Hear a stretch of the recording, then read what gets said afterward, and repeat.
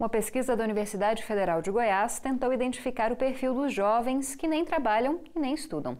Por isso, nós vamos conversar com a pesquisadora Cadine Macedo, que vai falar para a gente sobre essa pesquisa. Boa noite, muito obrigada pela sua presença. Muito obrigada por estar aqui. Queria que você explicasse para a gente o que, que a pesquisa apontou. Qual é o perfil desses jovens que não estão nem no mercado de trabalho e nem em uma escola ou universidade? Bom, os dados são do Censo Demográfico de 2010 do Brasil, que é o último censo que foi, é, que foi publicado, e a pesquisa ela faz uma diferença entre o gênero feminino e o masculino. Em relação às mulheres, o perfil dessa mulher é uma mulher que ela ou ela possui filhos ou ela cuida de crianças dentro do domicílio e essa mulher é casada, com um perfil acima de 19 anos. Os jovens dessa pesquisa são a partir dos 15 até os 24 anos. Uhum. E em relação aos homens, eles têm um perfil mais voltado para a renda. Quando esse homem, é, quando existe renda dentro do domicílio, esse homem ele opta por não trabalhar e não estudar, ou não estudar. Então seriam homens de poder aquisitivo maior, de famílias com poder aquisitivo maior? Não necessariamente, é o que realmente possui algum tipo de renda. Pode ser um rendimento de aposentados, pode ser um rendimento de programas sociais, não necessariamente só homens ricos ou só famílias ricas.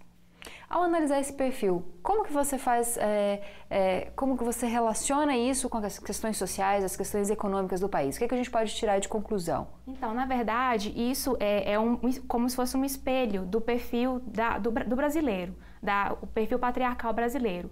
Por quê? Porque realmente as mulheres hoje ainda estão voltadas mais para questões familiares e os homens com questões relativas às finanças da casa, a tomar conta das finanças de casa. Então, esse ainda hoje é o perfil patriarcal do Brasil.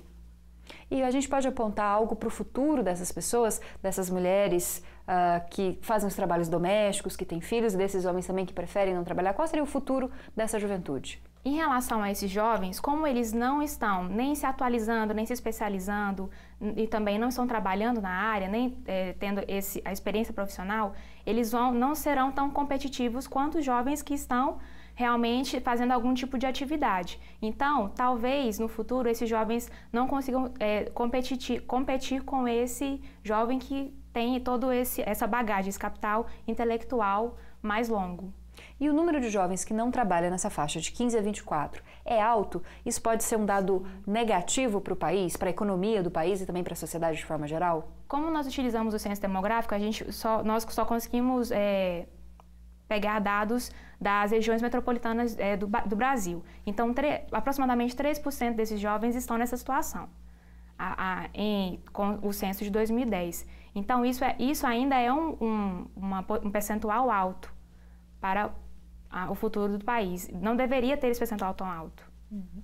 Bom, para finalizar, queria que você falasse para a gente assim, Existe algo, a pesquisa aponta alguma perspectiva de resolução desse problema, de incentivo para que esse jovem volte a estudar ou entre no mercado de trabalho? Existem, é, nós temos que criar para o futuro políticas públicas em relação a esses jovens, principalmente políticas educacionais. Nós temos que verificar por que esse jovem está saindo do, da, do, do ensino, por que, que ele abandona o ensino. Então, políticas públicas educacionais seriam um foco de é, trabalhos futuros que conseguiriam identificar esse jovem e não deixá-lo sair da escola. Com isso, ele consegue ir para a faculdade, daí ele consegue um trabalho melhor, uma ocupação melhor. Até para as mulheres. Até para as mulheres, sim. Tá certo, queria agradecer a sua presença, muito obrigada e obrigada pelos esclarecimentos. Muito obrigada pela participação.